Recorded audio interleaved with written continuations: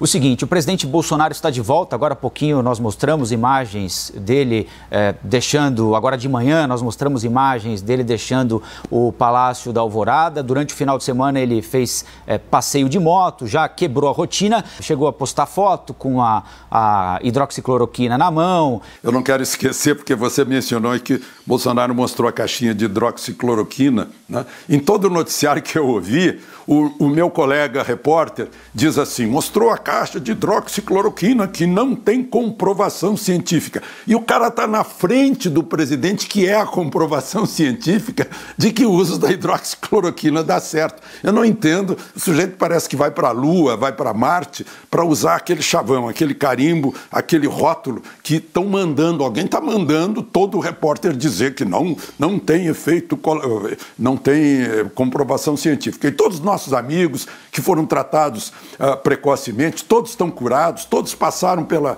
pela Covid-19 em dois, três dias, né? mas não tem comprovação científica. Então, eu acho que é um pouco de teimosia que nos faz perder a credibilidade. Né? A pessoa está vendo, tá, sabe que o repórter não está não tá sendo, está uh, uh, apenas repetindo um chavão, né? e, e, e, a, e a obviedade está ali na cara dele.